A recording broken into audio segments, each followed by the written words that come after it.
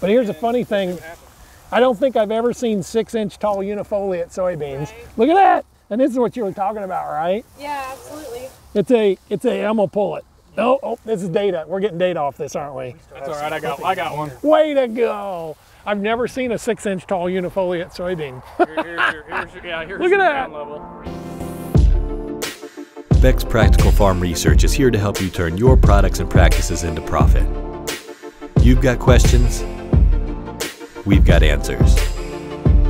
This is Ask PFR. So we're heading to the uh, London, Ohio PFR facility today. We've got some interesting studies as it relates to cover crops and interseeding soybeans and wheat. And we've received some questions about these studies we're doing. And so we thought this would be a great, uh, great day to go visit the folks over in Ohio at our Ohio PFR site in London to uh, cover these topics. So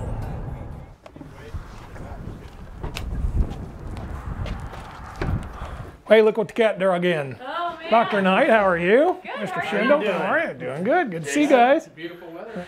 So, hey, one of the questions we've got through PFR, uh, we got a question this week, and it was about how do I establish a stand in a cover crop?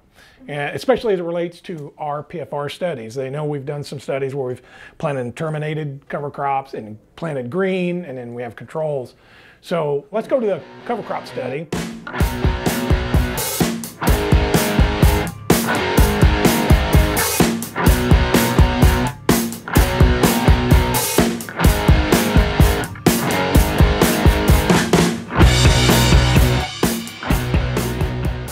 Standing in the middle of which trial, Tyler?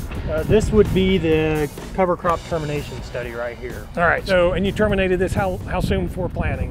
One of the treatments was terminated about three weeks before planting, and then we have a control that where no cover crops were planted, and then we had a terminate after planting, right after That's what we're looking at here. Yeah. So, any observations? Anything you would do different this year? Anything that um, helped when you planted in green versus in terminated? I, you know, maybe nothing that I would change going into next year, but I had a lot of good advice coming into it where guys were talking about raise your row cleaners because that's something you don't want to contend with. And that's what we did. We ran row cleaners on this stuff, but not in there because we didn't want it to get all tangled up. And I would say that that was probably a good call to do that. Yep.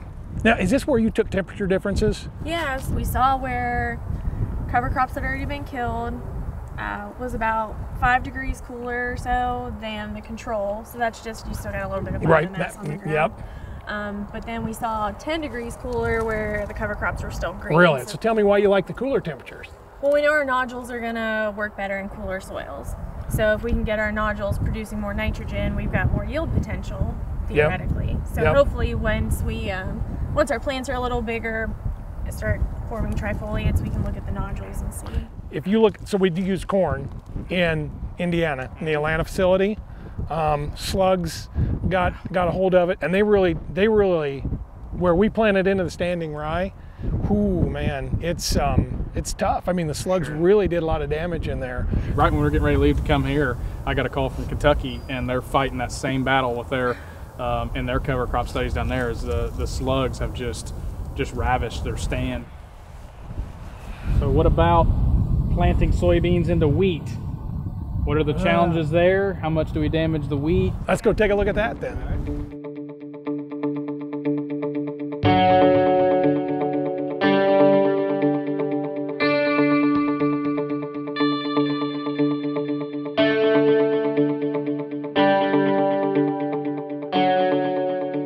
So the question was, people saw our video where we posted online interseeding soybeans into wheat, and they wanted to know, hey, what are we what are we doing? What are we testing? So we- we're testing two different timings, right?